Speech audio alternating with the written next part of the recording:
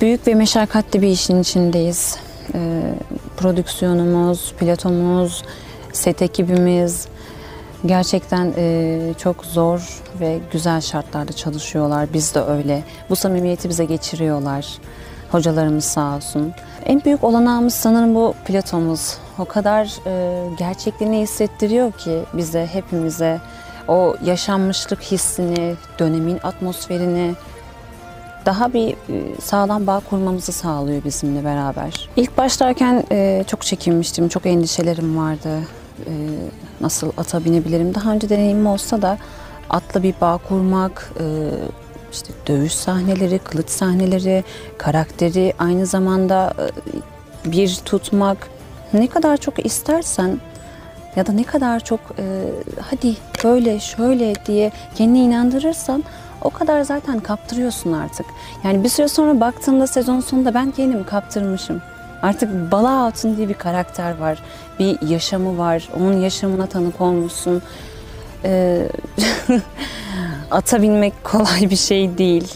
Çünkü ilk bindiğimde yaparsın, hakimiyeti kurarsın, atla o güzel bağını kurarsın dedim. Fakat düştüm ilk başta bir. Ama olsun, düşe kalka bu şekilde. Bala Hatun'a hazırlanırken çok zorlandığım noktada oldu. Çünkü e, savaşçı bir ruhu var. Ahi kızı, e, ahlaklı, terbiyeli, eğitimli, gayet donanımlı bir kız. E, ve buna onun dönemine ayak uydurmak zor oldu açıkçası. Ama at binme, e, kılıç, dövüş, tarihi eğitimlerle beraber bunu aslında çok güzel bir şekilde tamamladık. Yani artık o dünyanın içine girdik. E, Evet dedik bu böyle oluyor, bu böyle. Biz buradan geldik. Yani bunları gördükçe, okudukça veya e, yaşattıkça aslında yaşadık. İnandık çünkü. Oba baskını sahnesi yaptık ikinci sezonun başında. O sahnedeki çaresizlik durumu çocuğun yanına giderken o acısı ne yapacağını bilmez hali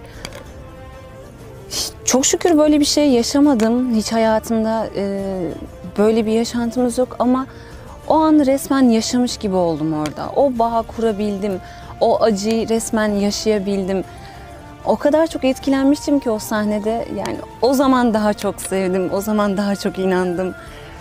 Daha çok bağlandım. Bala Hatun, Osman Bey'in Alpi gibi düşünün. Daha gözü kara, daha cesur, acısıyla dimdik ayakta duran ve bunu göz ardı eden bir hatun. Artık birçok şeyi kendi himayesi altına almaya çalışan, e, zorluklara beyiyle beraber göğüs germeye çalışan bir hatun var.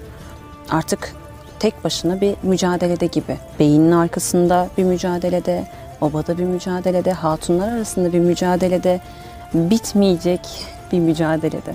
İlk tecrübem olduğu için çok farklı duygular içerisindeyim açıkçası.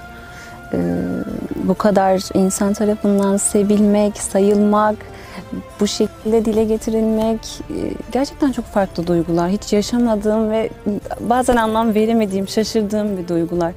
Çok mutluyum ve e, bu şekilde seyirciden gelen bu e, beğeniler, bu sevgiler, yorumlar o kadar çok motive ediyor ki işte bu diyorum. Yani yapabiliyorsun. Sen inandırdıysan bu kadar. Tamam diyorum.